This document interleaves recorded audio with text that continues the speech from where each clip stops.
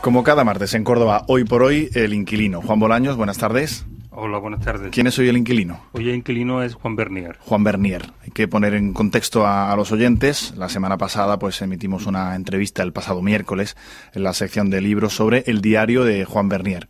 Un libro que da para más, da para más que solo una entrevista de la pasada semana, así lo vamos a plantear durante unos días, algunos episodios de, del inquilino. Da para mucho.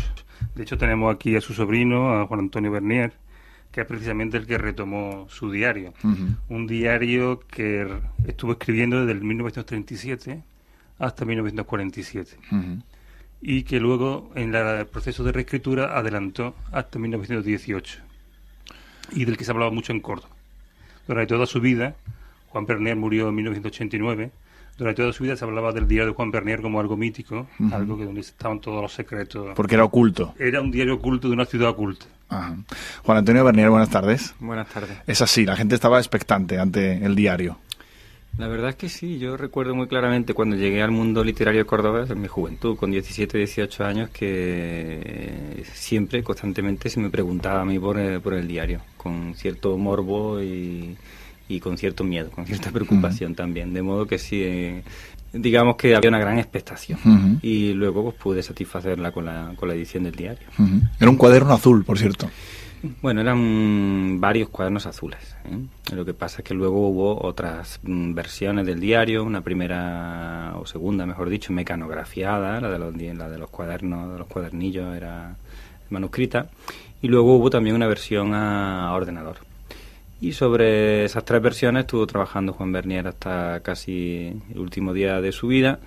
Y bueno, yo como editor simplemente tuve que valorar cuál de ellas era la que respondería a los deseos del autor, ¿no? A la voluntad definitiva del autor que se llama en, en ecdótica, es decir, en filología. Uh -huh. Juan. Pues vamos a tener una serie de inquilinos en el que vamos a hacer diferentes catas de este diario, ¿no? Vamos a empezar el caluroso mes de julio con el diario de Juan Bernier. ¿Lo escuchamos? Lo escuchamos.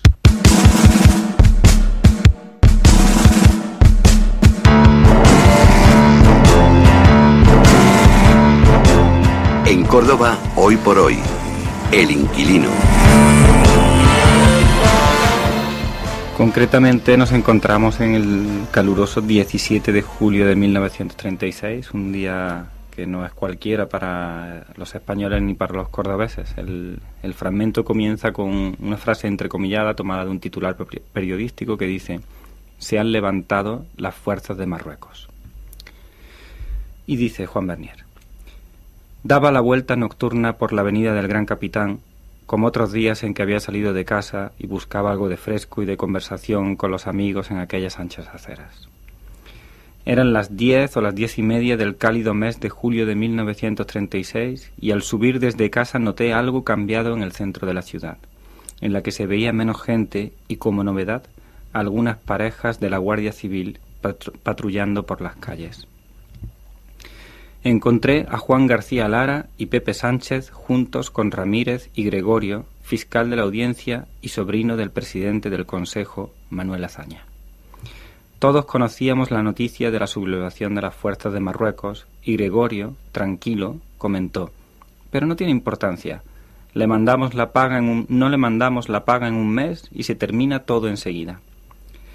El comentario me pareció demasiado optimista y no calmó mi alarma silenciosa pensando íntimamente que yo era el menos iluso de aquellos amigos muy vinculados a la política, que creían que el abrumador número de votos y las manifestaciones de masas eran fusiles y cañones. Por experiencia sabía, y lo vi alguna vez, que un solo escuadrón de la Guardia Civil bastaba para desparramar y hacer huir a cientos de puños en alto.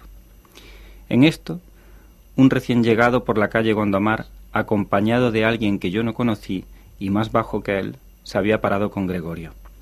Hay tranquilidad completa.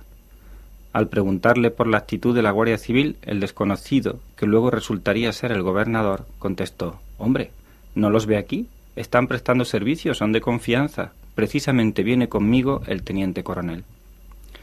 Este asintió con la cabeza y para mí, con mi escaso optimismo, me pareció oír en su voz un timbre de duda y vacilación. Fue solo un momento toda la escena y el gobernador y su acompañante se despidieron. Este fue mi último contacto con aquellos amigos.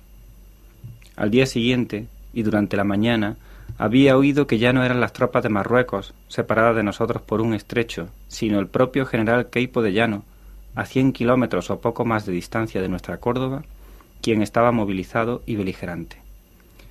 Con estas noticias llegué a la oficina de mi padre, en el Círculo de Labradores, y en el camino me dijeron que se iba a declarar la huelga general revolucionaria.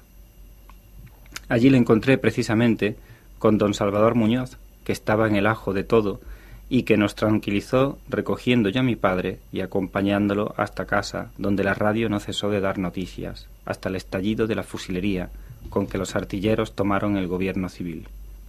Uno, dos cañonazos y todo había cambiado en Córdoba. El inquilino.